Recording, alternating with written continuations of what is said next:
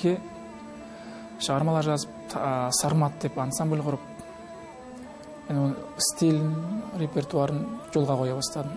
Алға қойған негізгі мақсатым еш ансамбльге ұқсамас екен. Бір жеке дараланып тұрса екен дейтін менде бір ой болды. Және де қасымда балалар соны құптады. Бұл шығармалар ә, солардың көзіндегі отты көргеннен кейін солардың бір құлшынысын көргеннен кейін туындаған шығармалар көпшілігі. Қазақ айтады ғой тыңдалмаған сөз жетім деп. Сол сияқты менің сөзім тыңдалмаса менің шығармаларым тыңдалмаса бір жетім болып қалар еді. Осы сарматтың себебімен көптеген шығармаларым дүниеге келді.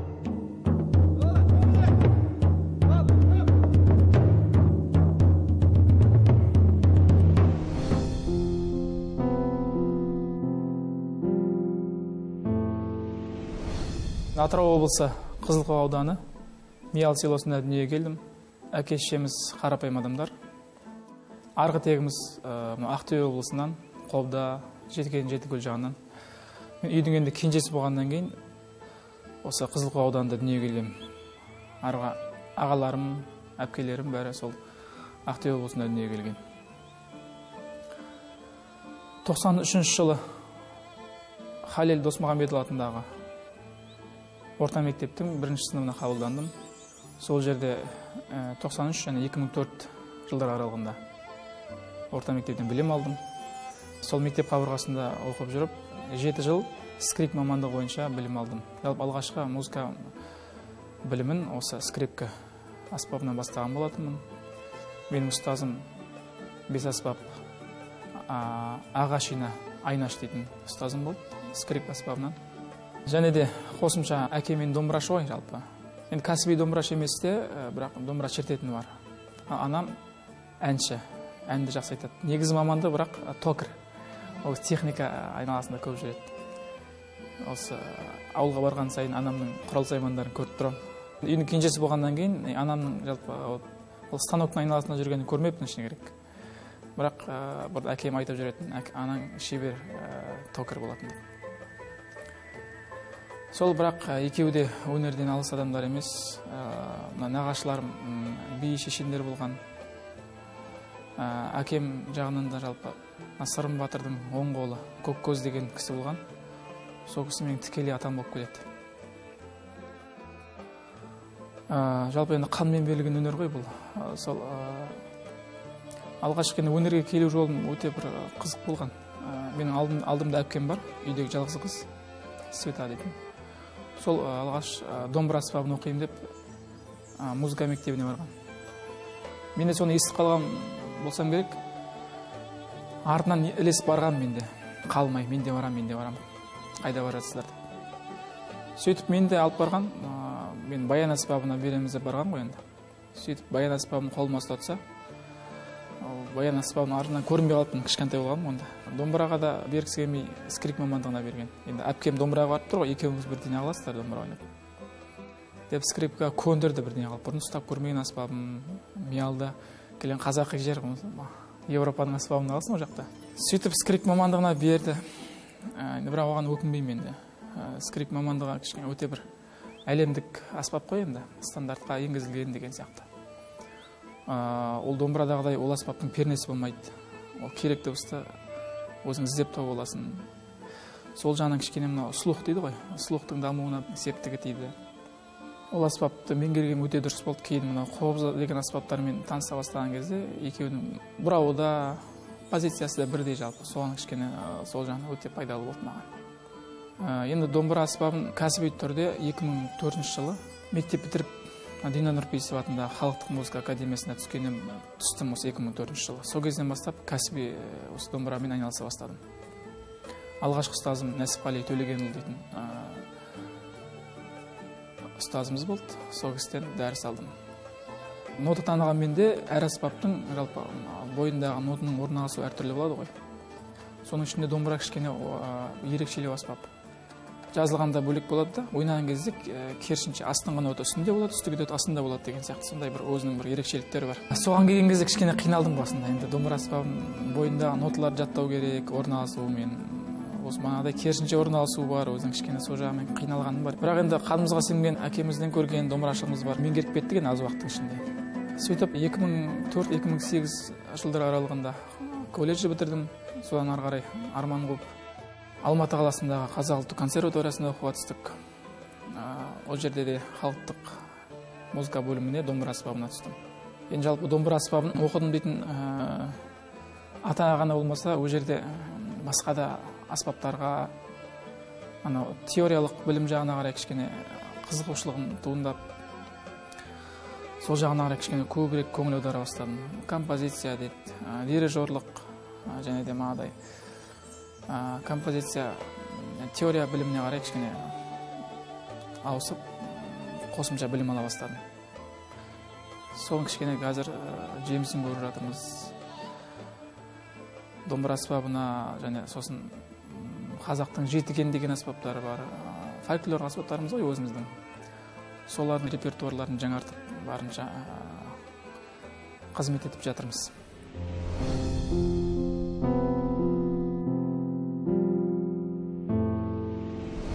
қазақ ұлттық консерваториясының қабырғасында жүріп көптеген шығармалар жаза бастадым. Ол жерде алтын орда деген ансамбль құрдым бабалар сазы деген ансамбль сүйінбай сазы деп сол жергілікті өнерпаздардың басын қосып және студенттердің басын қосып және жерлестеріміз бар ішінде барлығының басын қосып неге бір өзіміз ансамбль ашпасқа және өзіміз неге репертуар жазбасқа деген сияқты. жалпы мынау қазақ ұлттық ансамбльдер оркестрінің репертуар жағы кішкене бір қиындық тудыратын мәселе. Олай дейтінім мына европаның оркестрлері камерный ансамбль симфониялық оркестрлер олар жолға қойылған жалпы. Репертуары көп жылдан бері жазылып келе жатқан. Ал біздің ансамбліміз оркестрлеріміз ахмет жұбановтан бері қарай басталды тарихы негізгі сондықтан нотаға түсіру керек оны оны лайықтау керек деген сияқты әрбір әрбір құрамға байланысты. Сол жағынан кішкене қиындық тудырады. Бұрындары біз мына мұрагер ансамбльде ойнап жүрген кезде бұрын басқа бір ансамбльдердің репертуарларын алып сөйтіп ойнап жүрдік. Кейін ой келді неге бір өзімізге лайықтамасқа неге өзіміз жазбасқа деген. Сол алға мақсат қойдық осындай.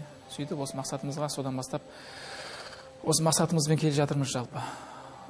Сол кезден басталды қазақ консерваториясының қабырғасында жүрген кезде.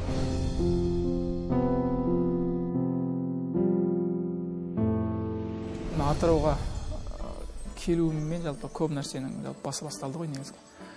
Мына сармад ансамблі алғашқы мынау халықтық шығармашылық орталығы бар ғой сол жерде ақерке жайық деп бұрын құрған болатын. Оны бірақ мен емес құрған алма әзідоллақызы бастап құрған.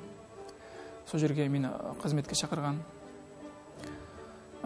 Сол бабалар сазы деген ансамбльмен алғаш атырауға келген консерватория оқып жүрген кезімде. Сол кезде бұлар қатты қызығып сол ансамбльге. Біз де осындай ансамбль құрғымыз келеді. Осындай қол ұшын берсеңіздер деп ұсыныс тастаған. Алғашында мен алматыда жүріп солардың репертуарларын жазып почталарына дейді ғой лақтырып жүрдім ноталарын. Сөйтіп біраз репертуарлар жаздық. Содан кейін елге қайтсаң қалай болады деп мынандай ұсыныстар білдірген соң мен елге қайттым. 2013 жылы келдім. Екі мың он жетінші жылы ма екен он алтыншы жылы ма екен ол ансамбль өзінің жұмысын тоқтатты. Және де осы атырауда жүріп те театр саласымен де араласа бастадық. Ана шыңғыс айтматовтың мәңгүрт драмасын жаздық. Бұның ерекшелігі халық аспаптарының тікелей тірілей сүйемелдеуімен орындалғаннан кейін бұл ерекше болды. Елордамызға барып конкурсқа барған кезде мынау асхат маемиров сияқты үлкен режиссер сыншыларымыздың көзіне ілікті. Ол қатты үлкен бағасын алып сол жерде халықаралық конкурстан бірінші орын алған болатын осы спектакль. Бұның ерекшелігі осы ұлттық аспаптардың сүйемелімен болатын.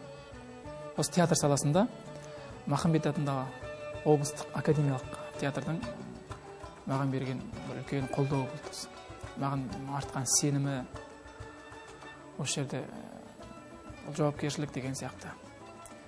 Оларға үлкен рахмет айтамын. Себебі менің ешқандай тәжірибем болған жоқ театр саласында. Маған сенім артып осындай үлкен істі тапсырғанына оларға рахмет айтамын. Және де бұны сеніммен алып шықтым деген үлкен сенім айта аламын.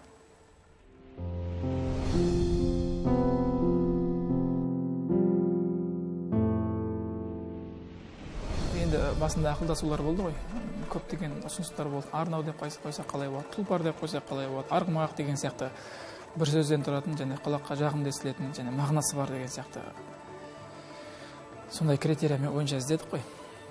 Сармат деп жалпы көбі тайпаның атын айтып елестетіп жүр ғой. Сармат дейтін мына парсы араб тілінен алған сөз жалпы бұл. Сармат д арқылы жазылады. Бұл мағынасы мәңгілік деген мағынаны білдіреді. Неге олай деп алдық дегенге келетін болсақ мынау қазақ қазақ болғалы біздің ән күйлеріміз қазақпен бірге мәңгі жасап келе жатыр. Бізде сол мәңгі жасап келе жатқан дәстүрімізді ары қарай дамытсақ деген ой болды. Оның үстіне біз мәңгілік ел боламыз деп жатырмыз ғой. Әр елдің өзінің бір ерекшелігі болу керек қой. Біз орыстың немесе қырғыздардың дәстүрін орындап отыратын болсақ біз қайдан мәңгілік ел боламыз? Осы саясатты бізде ары қарай дамытсақ өнер саласымен біз осыған қол ұшын берсек деген үлкен ой болды бізде. Сондықтан осы сармат деген сөзді алдық мәңгілік деген мағынаны білдіреді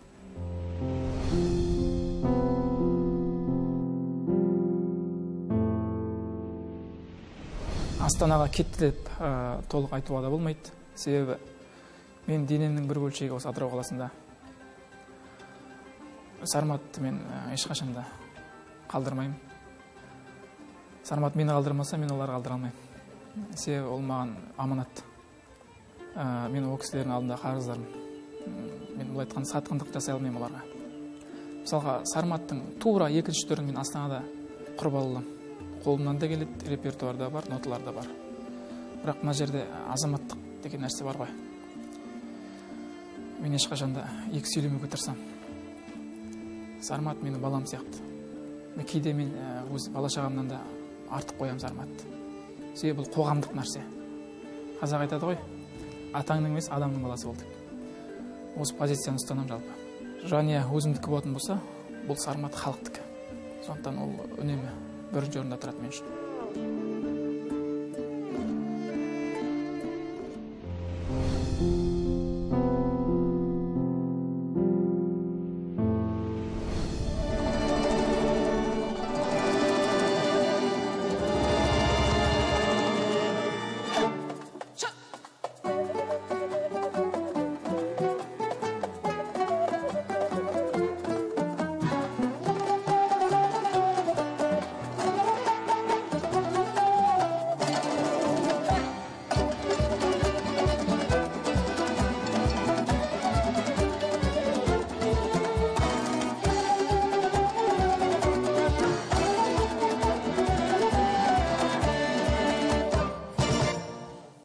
астанаға келетін болсақ мен ол жерде де астана сазы деген ансамбльді құрған болатынмын.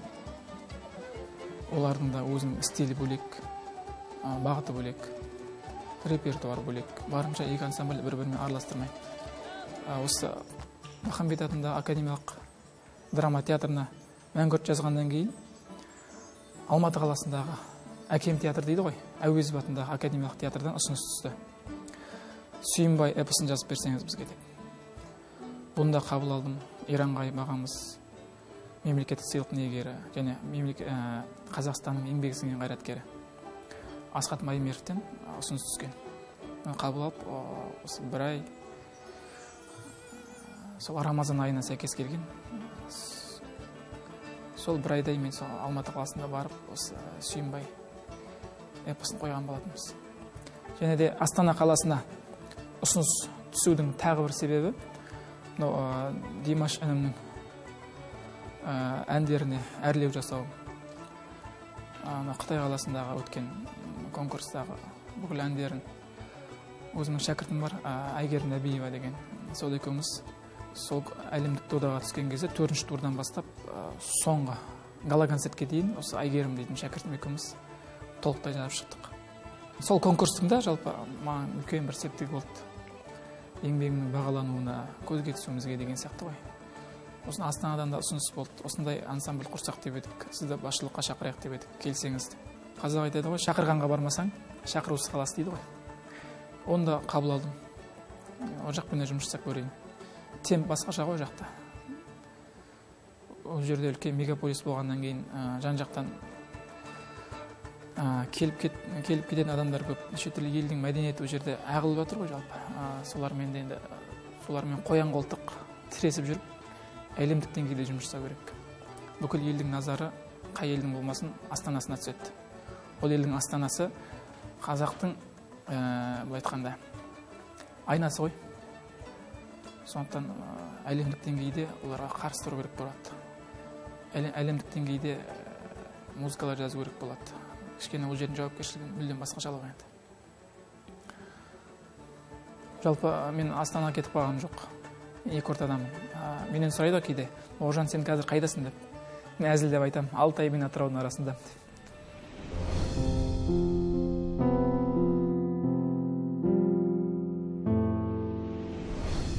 ансамбльдік бағытта еңбек етуім ең алғашқы осы мұрагер ансамбльден басталды жалпы. Колледжде оқимын ол кезде. Ең алғашқы есімде осы анау нұртуғанның термесін түсіргем. Сол түсірген кезде енді аспаптарын білмеймін ғой енді. Қобыздан басқа аспапты білмеймін баянды білмеймін шертерді білмеймін бас домбырады білмеймін деген сияқты. Қылқобызы бар. Қазақ аспаптарының бір ерекшелігі ә, транспозициялық аспаптар барлығы. Бір жерде жазылады бірақ ол сол жерде естілмейді ол астынан естіледі. Сол жағы кішкене маған өте құпия болды сол кезде. Білмедім шыны керек жазам. Сол жерде естілу керек нәрсе бірақ естілмейді. Күткен нәрсе шықпайды. Қалай деп түсінбеймін. Ә, сондай кейін барып түсіндім ғой оның транспозициялық аспаптар екенін. Және де енді ноталық сауатымыз қатты бір дамымаған кез шимайлап қаламмен жазамыз. Оны өшіреміз ұнамай қалады. Қайып жазамыз сөйтіп сөйтіп. Мың рет құлап дейді ғой. Сөйтіп. Сондай жағдай болған. Сол және де ол мұрагер ансамблінде мен концертмейстер дейді ғой. Шетінде тұрып анау дирижердің қызметін атқардым. Бастау тоқтату кейбір анау жай ойнайтын жер болады қатты ойнайтын жерлер болады. Соның бәрін көрсетуім керек болады. Қолым бос емес қолмен көрсете алмаймын. Оны мына жест дейді ғой. Көздің мынау қабақтың жесттарымен көрсетуге тура келді. Кейде әзілдеп балаларға айтып қоятынмын. Егер де пиано ойнау керек болатын болса менің мұрныма қараңдар деп айтатынмын оларға егер мұрнымда өзгешелік болса пиано керек деген сияқты сондай үйретіп қоятынмын сосын кейде анау ансамбль ойнап жатқан кезде халықтың алдына шыққан кезде аманат қой енді. Халықтың өнерін сен халыққа ұсынып жатсың. Сол кезде тек қана ол дыбыспен ғана емес сенің отырған отырысыңмен де оны көрсету керек болады. Балалар кейде концерттің үстіне ұмытып кетеді кейде маужырап отырып қалады бүйтіп. Сол кезде оларды бүйтіп күлдіретінмін күліп отырыңдар күліңдер. Бүйтіп езуіммен ойнап тұрып бүйтіп бәрін. Былай айтқанда жауапкершілік сол кезден бастап кішкене сезіне бастадық.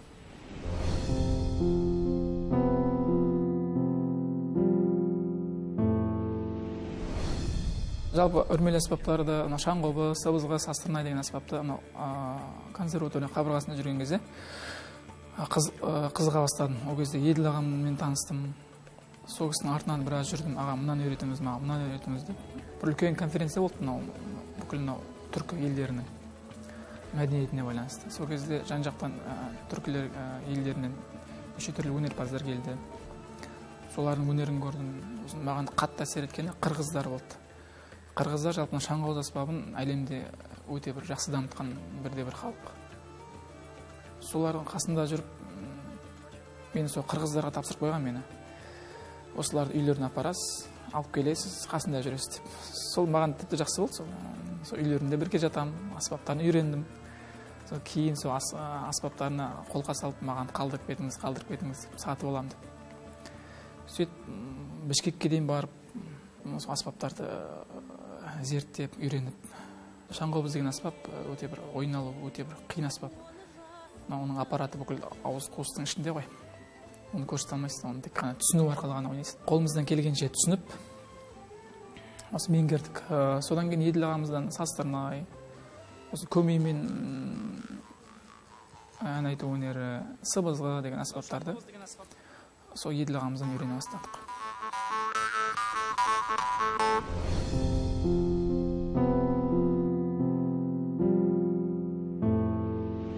2013 жылы отбасын құрған болатынмын. Қазір үш баланың әкесімін үлкенім мұхаммед амин дейтін балам бар. Ол қазір бесте. Балабақшаға барады. Содан кейін нығмет дейтін балам бар. Ол да ағасының артынан еріп өсіп келе жатыр балабақшада екеуі бірге барады. Олар қазір нұр сұлтан қаласында. Және де үшінші нәзік деген қызым бар. Ол қазір үйде анасының қасында. Ә, енді жұбайым. Ол музыкаға қатысы жоқ жалпы. Өнер адамы емес. Ана балаларымның енді тәрбиешісі ғой. Бірақ енді бұл үйде бір бір үйден бір қандай да бір қолдау болмаса сен өнеріңе деген сыйластық құрмет болмайтын болса бұл өнер мен бұлай жүре алмас едім ғой. Жалпы өнер адам өнер менің өнерімді жалпы мына ұстанымымды қатты құрметтейді. Тілеуім тілеп отырады үйге кеткен кезде.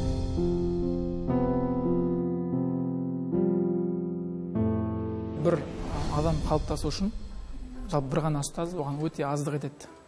Ресми және бейресми ұстаздар керек болады сондықтан мен бірнеше ұстазым бар.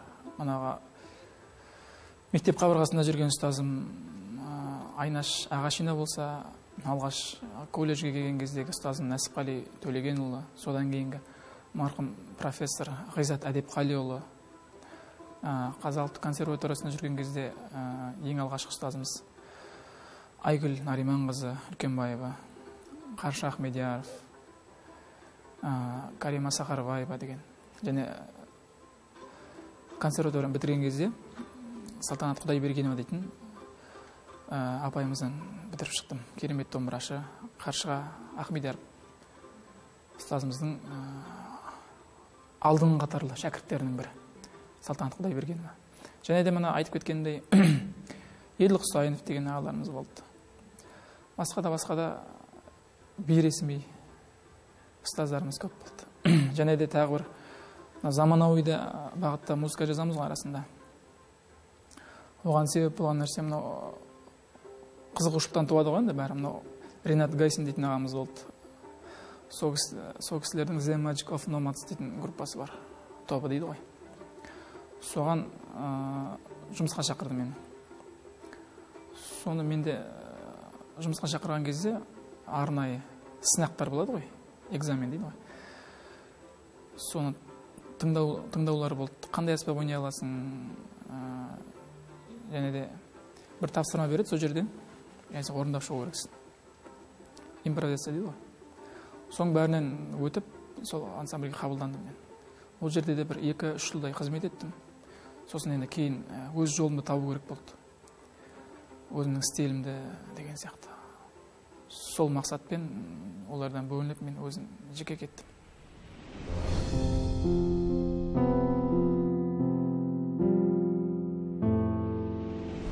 Халықтық дәстүрлі музыка дейді ғой.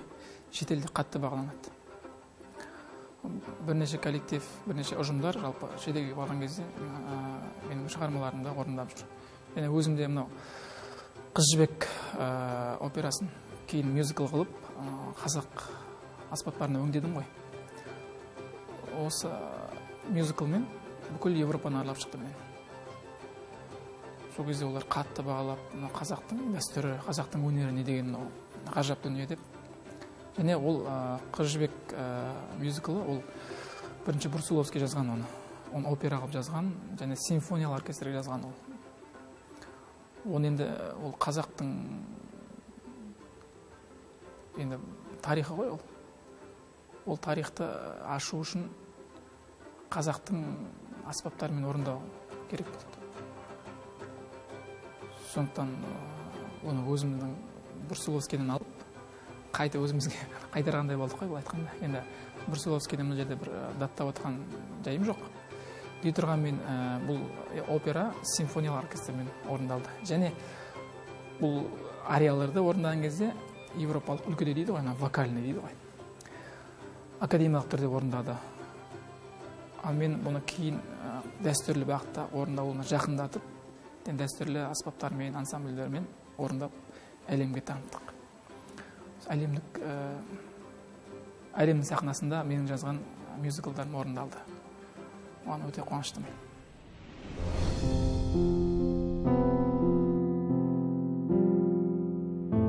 жоқ осы нәрседен қорқамын кімде кім мені мақтап жатса мен мынандай дұғаны айтамын себебі пайғамбар саллаллаху үйреткен дұғасы ғой ол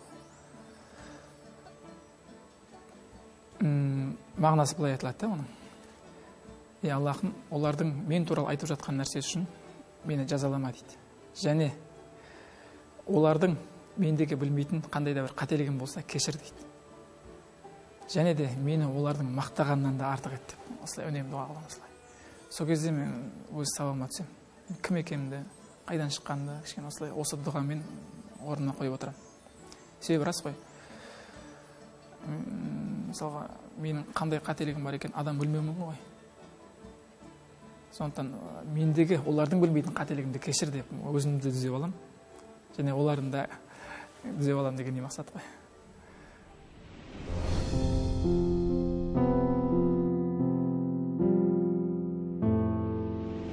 бірден сұрамасақ е ревич. Бірге е бөрі салмаңыз бөрі салмау таза болсын дауыс жалпы мінезім өте қатты керек кезінде жұмсақ боламыз бірақ. Бірақ дайындық барысында жұмыс барысында мен өте қаталмын енді алға қойылған мақсат жүзеге асу үшін жайбарақат жүруге болмайды. Ал бірақ өмірде өте жұмсақпын біз қазақ мал баққан елміз деген ешкім емес соқтықпай жай жатқан елміз дегендей ғой биязы болуға тырысамын барынша. Бірақ енді ә, жұмыс барысында мана айтып кеткенімдей қаталдық керек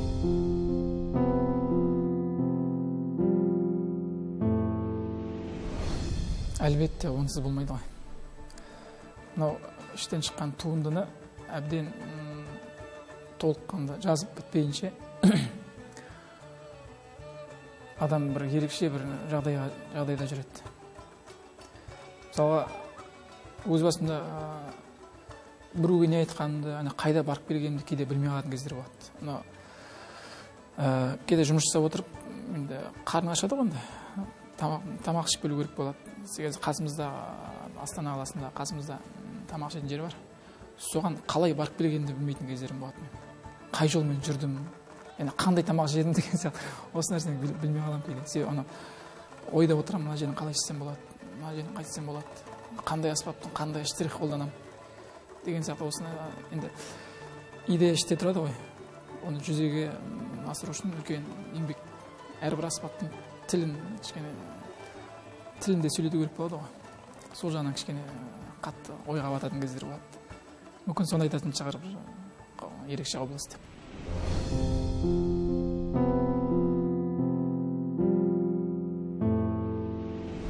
Мен диний тұрғыдан белгилүү бир ой айтуудан аулақпын. Себеби ол саланын маманы эмесмин бирок бир мына нерсени түшүнүү керек болады казак қазақ болып қалыптаспай тұрып ол мұсылман кабыл алып койгон жалпы.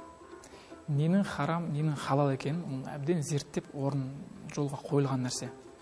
Оны кейін қанша ғасыр өткеннен кейін оны қайтадан қозғаудың керегі жоқ. Және де оның халыққа кері әсер ететін енді музыкалар да бар ғой қазір. Содан кішкене содан сақ болу керек кішкене. Себебі мынау біздің батырларымыз жаугершілік заман ол кезде шекара бекітілмеген. Былай айтқанда қару жағы да кішкене. Қазіргідей зеңбірек қандай да бір мылтық деген нәрсе ол кезде кішкене тапшы ғой. Сол кезде халық батырларды айтқанда формула дейді ғой үнемі батырларымыз сақадай сай болу керек ол үшін не істеу керек? Оның рухын көтеру керек.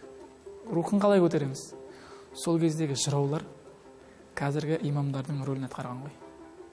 Сол кезде жыраулар домбырасымен отырып таңға дейін оларға жыр айтқан. Домбырамен отырып айтқан оны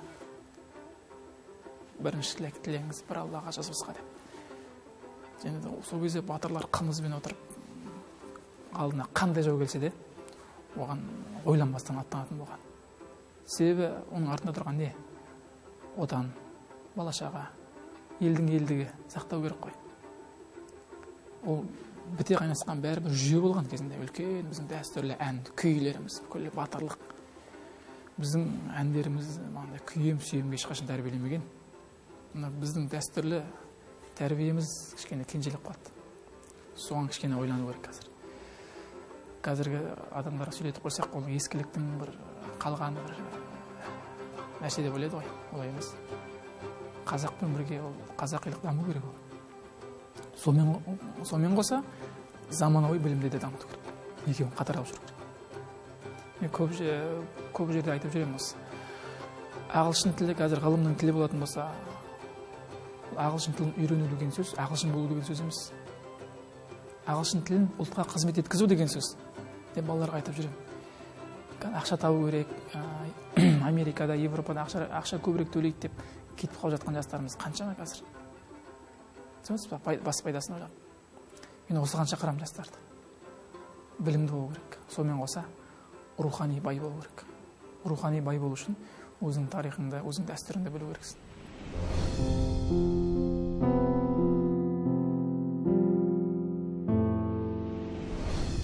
Оны ішке қоймаған салады оны. Бірақ ә, барынша онымен бас бастауға тырысамын себебі маған оспан батырдың айтқаны қатты әсер етті. Оған орден тағады ғой. Сол кезде бұл жылтырақты қатыныма бер дейді. Маған қолыма мылтық беріңдер дейді ғой. Сондықтан мен еш жақсылық мынандай бір мақтау мадақ күтпеймін. Енді пендешілікпен ішкі ойым қалайтын кездер болады бірақ оны сауасын түсіріп тәрбиелеп отырамын барынша. Енді мен де пендемін ғой. Нәпсіге жағатын ойлар келеді ғой іштен. Мә бауыржан сен ана жерің ана кісіден қай жерің кем алып жатыр ғой деген сияқты. Мысалға біреуді көре алмау деген сөз алланың шешіміне қарсы келу деген сөз ғой. Алла ол адамға сол орден тағуды қалады ма? Ол тақты. Сен сонда кімсің алланың шешіміне қарсы келетін? Деген сияқты өзім солай өзім жұбатамын.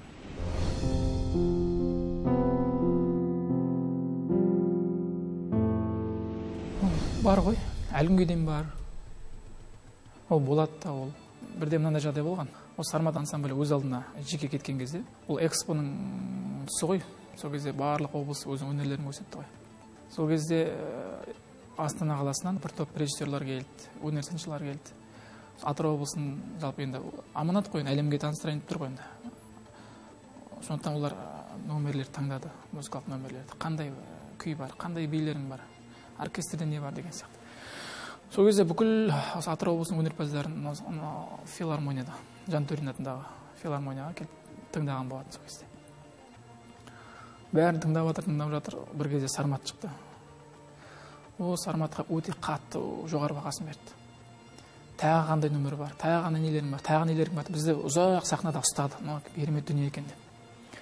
Сөйтті дағы бізді өткен өнерпаздардың ішінде алғашқысы болып жазып қойды. Осылар барады деп олар енді кейін кетеді ғой енді. Сосын экспо дайындық басталады. Экспо дайындық басталады да бірақ біз спискте жоқпыз. Мен түсінбеймін. Шақыратын шығар деп күтіп жүрмін күтіп жүрмін. Экспо баратын уақыт болып қалды. Сармат жоқ ол жерде сосын кейін сөйлестім. Телефон шалдым. Неге жоқ сармат? Деп а сармат ешқай жерде штатта жоқ екен. Сол себепті алып тастадық дейді. Осы маған қатты бір үлкен соққы болған. Штат жөнінде әңгіме қозғайын десең алматы қаласында жүрген басқа да жүрген өнерпаздарымыз ішінде сол концертте жүр. Ол мүлдем басқа облыстағы адамдар. Штаттың да иісі шықпайды ол жерде жұрнағы да жоқ. Осындай қатты бір аяқтан шалулар көп болған кезінде. Бірақ енді әрбір сынаққа сен сынау беретін болсаң немене сен еркек болып жүрсің деп өзімді сынадым сол кезде. Сен алға қойған мақсатың бар емес па сен біреу үшін өмір сүріп жүрсің ба сосын әрбір сынақ ол алладан келген сынақ сені аяққа тұруға тәрбиелемесе онда сен бұл салада жүрмей ақ қой деп өзіме ант бердім.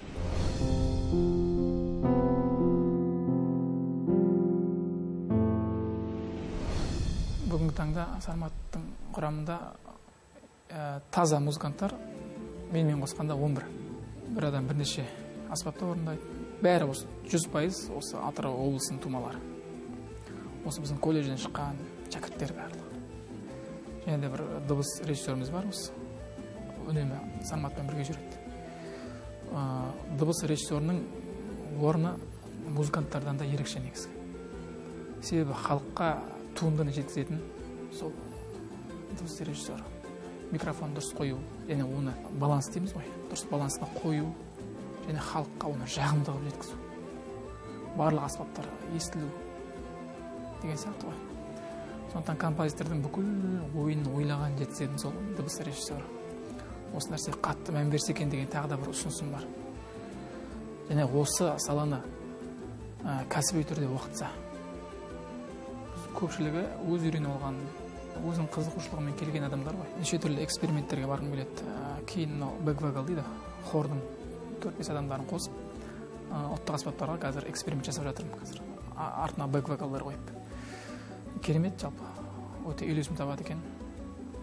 Алдағы уақытта симфониялық камерный оркестрлермен қосып үлкен жобалар жасағым келеді. Және таза қазақ оркестр бар ғой.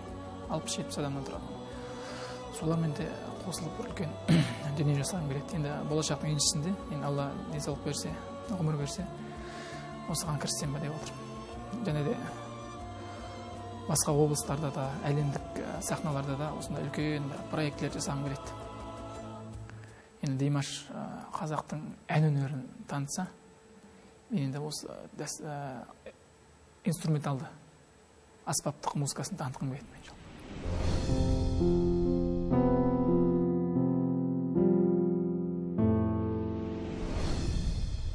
жеке тәрбиелеген шәкірттерім бар қазір. Ақтөбе облысында серік закария дейтін бір шәкіртім бар жақсы. Ол қазір арайлы ақтөбе деген ансамбль соның жетекшісі болып қазір қызметке тұрды. Оралда бір данияр дейтін шәкіртім бар. Ол да қазір жақсы ансамбльдер құрып қазір сарматтың жолын қуып келе жатыр қазір. Осыған қатты қуанамын жалпы әр адам ұстаз ғой ол. Не жақсылыққа тәрбиелейді не жамандыққа тәрбиелейді. Әр адам ұстаз. Сондықтан қолымнан келгенше жақсы нәрсе үйретуге тырысамын және де мынау дина нұрпейісова атындағы атырау музыка колледжінде де шәкірттеріміз бар біраз. Жолымызды қуып келе жатқан осы сіздер сияқты болғымыз келеді. Осы нәрсе дамыса екен деп жүрген шәкірттеріміз бар аллаға шүкір.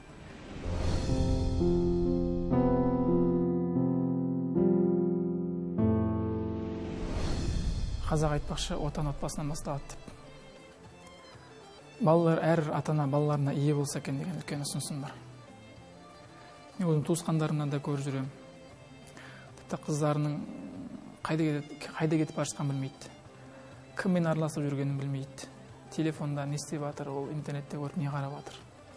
Қандай мультфильм қарап жатыр немесе мультфильм қарап жатыр. Және кімдерді үлгі тұтып жатыр қандай киім киіп жүр осыған мән бермейді ата аналар олар әйтеуір балам оқып жатыр ел қатарлы. Дипломын алды жұмыс, жұмыс жасап жатыр. Жұрттан қалмай қолдарына ұялы телефон алып бердік. Жақсы киініп жүр тамақ тұқ. Болды осы мәселемен шектелген. Асылында негізі әкенің өзінің ұрпағының алдында мін, төрт міндеті бар. Атап айтатын болсақ бірінші оған жақсы ана таңдап беру. Ана дейтін бір қолымен бесік тербетеді бір қолымен әлем тербетеді және де дүниеге келген кезде жақсы ат қою мағыналы. Және оған ә, рухани білім беру діни рухани дейді ғой жалпы білім беру және материальный. Материалдық тұрғыда оны қамтамасыз ету. Материалдық тұрғыда қамтамасыз ету ең соңында төртінші орында тұр біз өкінішке орай осы материал жағына кеткенімізде осы үшеуін жол қоя салғанбыз егер де бір қандай қандай да бір ата ана өзінің ұрпағының алдында осы төрт аманатты орындайтын болса ондай ұрпақ жаман болуы мүмкін емес. Біздің ата бабаларымыз осыған дейін осы нәрсені жүйені алып келген дағы оны совет үкіметі жұтып қойған. Әумейді болды. Тек қана материал алған болды. Атеистік дәуір әбден жұтып қойған осы нәрсені. Ата аналарға айтар ұсынысым енді мен оларға ешқашан ақыл айта алмаймын. Оған құқым да жоқ. Бірақ енді осы қазақстанның азамат ретінде мен ұсыныс қана айта аламын. Осы балаларыңа ие болсаң ие болсаңыздар деп. Ертеңгі күні балаларыңыз. Қаншама біздің қаракөз қыздарымыз бар жат жұртқа тұрмысқа шығып жатқан немесе некесіз дүниеге келіп жатқан қаншама сәбилер бар қазір. Осы нәрсеге кішкене абай болса екен деген ұсынысым бар. Біз шетелде көп жүреміз қазақтың жерінде көп жүреміз. Біз қазақтың балаларын асырап алған қаншама шетел азаматтарын білеміз. Жақында ғана италияда болдым мен. Сол кезде бір елу алпысқа жуық қазақтың балаларымен кездестім аттары қазақша азамат тағы бір нәрсе бір нәрсе жігер дейтін әсел деген қыздарымыз көрдім. Кішкентай балаларымыз бүлдіршін қаракөз бірақ жаны қазақ емес. Қазаққа ұқсайтын қазақ деп айтамын мен оларды. Тілдері басқаша ұстанымдары басқаша. Олар шетелде рухани әлсіз адамдар болса біздің қазіргі балаларымыз отанымыздағы рухани әлсіз. Істемеген нәрсені айтпауға тырысамын өзімнің басымнан өткен өзім істеп жүрген нәрселерді барынша себебі аят бар ғой сондай өзің істемеген нәрсені неге айтасың дейді. Барынша өзім балама да осы нәрселерді қатты сіңіріп отырамын. Аллаға шүкір өзім балам кішкентай болса да ойы жүйрік. Үлкен кісілердің ойламай тұрған нәрселерін айтады. Бір кезде мынандай үйде мынандай жағдай болды. Үлкен балам інісін жылатып қайтты. Ағатай мына жеріңе шымшыды деп сосын ағасына бардым да мен де тура солай шымшыдым ол жерін. Ол жылап қалды. Сен білесіз ба тура ініңе осындай қылып сен зиян тигіздің ғой деп. Иә білемін дейді. А неге жылаттың деген жерге нанды құлатып жіберді дейді. Соны жылатпай ақ көтере салсаң болмайтын ба еді деп айттым да. Иә әкетай болады ғой дейді бірақ тамақты ысырап етуге болмайды ғой дейді. Сұлулықтары өте өте жақсы. Есте сақтау қабілеті өте жақсы балалардың және бірнеше құраған бірнеше сүре бірнеше дұғаларды балам аллаға шүкір жатқа біледі. Үйден шыққанда кіргенде қалай үйден қалай шығу керек екенін біледі. Қалай кіру керек екенін біледі. Тамақты қалай жеу керек екенін біледі менің балам. Және тамақты қалай жеп болғаннан кейін не істеу керектігін біледі. Қалай ұйықтау керектігін біледі. Қалай ұйқыдан тұру керектігін біледі. Ең жеңіл әжетханаға қалай кіріп шығуды біледі менің балам. Көлікке қалай мініп шығуды біледі. Біздің бабаларымыз осыны үйреткен негізгі. Біз үйретпей жатқан. Осы нәрсеге абай болса екен деймін балаларды.